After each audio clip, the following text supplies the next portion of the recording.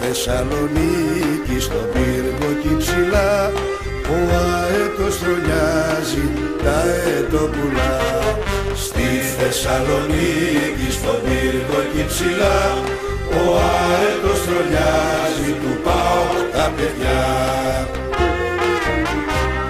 Δικέφαλε, δικέφαλαρετε, μαύρα ετέ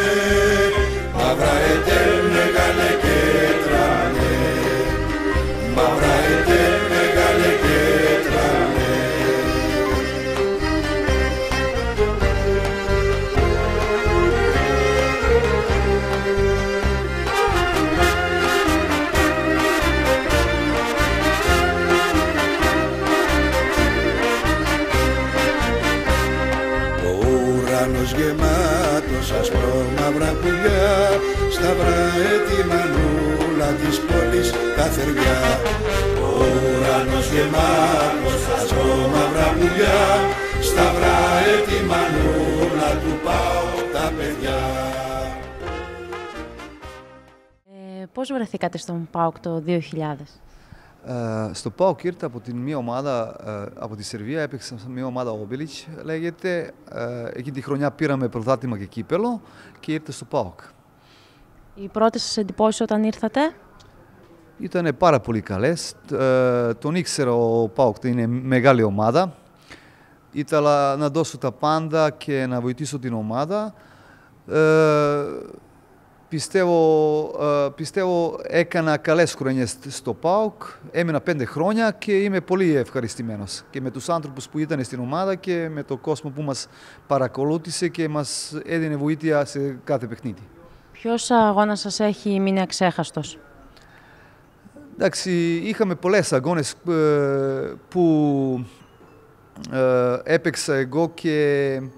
Αλλά μία αγώνα που μου έμεινε ε, ασέχαστη είναι με τον Ολυμπιακό στην ε, Ριζόπολη που κερδίσαμε ένα-δύο στο 90 με δικό μου γκολ.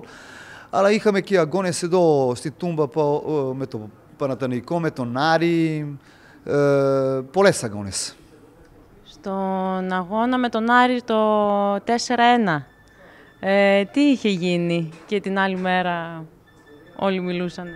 Εντάξει, εκεί, εκεί, τη- εκεί τον αγώνα κερδίσαμε δίκαια, είχαμε πολύ καλές, ε, ε, πολύ καλές ε, ευκαιρίες και για, για ε, άλλα τα γκολ. Κερδίσαμε 4-1 και μπορούσαμε να κερδίσουμε παραπάνω. Αλλά εντάξει, ο κόσμος ήταν ευχαριστημένος με την αγώνα ε, και εμείς είμαστε ευχαριστημένοι. Αλλά εντάξει, ήταν ένα παιχνίδι που μας βοήθησε στα συνέχεια. Ε, ζήσατε και δύο τίτλους με τον ΠΑΟΚ. Δύο κύπελα. Σωστά. Ε, θα μας περιγράψετε κάτι που σας έχει μείνει από εκείνες τις δύο χρονιές; Εντάξει, 2001 και 2003 έχουμε πάρει δύο κύπελα.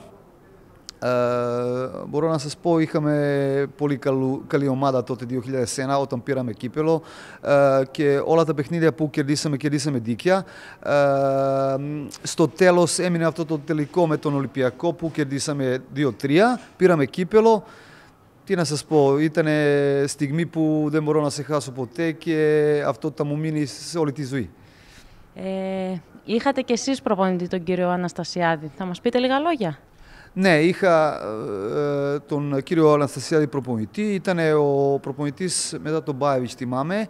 Ε, προπονητής που ε, μας έχει βοηθήσει πάρα πολύ και μπορώ να πω μόνο καλά, καλά λόγια για τον ε, κύριο τον Ανασ- Αναστασιάδη και πιστεύω σε ε, ομάδα που έχουν σήμερα μπορεί να πετύχει και να πάρουμε και ένα τίτλο, ε, τίτλο στο τέλος. Ε, με ποιον συμπέκτη σας κάνατε παρέα, ήσασταν πιο κοντά και εκτός γηπέδου; Εντάξει, ε, είχαμε ε, καλή ατμόσφαιρα μέσα στο κήπεδο με, την ομα... ε, με τους παίκτες και ε, είμαστε μια παρέα, αλλά έκανα πιο πολύ με τον Καραντίμο, με τον Χασιώτη, με τον Γεωργιάδη, αλλά στο τέλος ε, όλοι οι παίκτες που ήταν στην ομάδα ήταν σαν μια οικογένεια, ε, γι' αυτό και πετύχαμε αυτό το στόχο που πήραμε πρωτάθλημα. Ε, είμαστε όλοι μαζί, μπορώ να το πω. Ε, ο κόσμος, ε, πώς, πώς σας φάνηκε όταν γνωρίσατε τον κόσμο του ΠΑΟΚ; Εντάξει, αυτές τις στιγμές που έζησα στο ΠΑΟΚ, ε, μπορώ να σας πω ειλικρινά, έχω πάει σε πολλά κήπεδα ευρωπαϊκά, αλλά ε, κόσμο που έχει ο ΠΑΟΚ έχουν λίγες ομάδες στην Ευρώπη και ε, πάντα είναι δίπλα στην ομάδα, βοηθάει πάρα πολύ και πιστεύω ε, πρέπει να συνεχίζει να δίνει, ε, πώς, πώς να τα πω, ε, να δίνει ελπίδες στην ομάδα, αλλά αυτή η ομάδα, αυτή η ομάδα αξίζει ένα τίτλο που περιμένουμε τόσα χρόνια και πιστεύω ότι θα καταφέρουμε στο τέλος. Η Θεσσαλονίκη σας έχει λείψει; Ναι, μου έχει λείψει πάρα πολύ. Ε, μία ευχή για τον ΠΑΟΚ.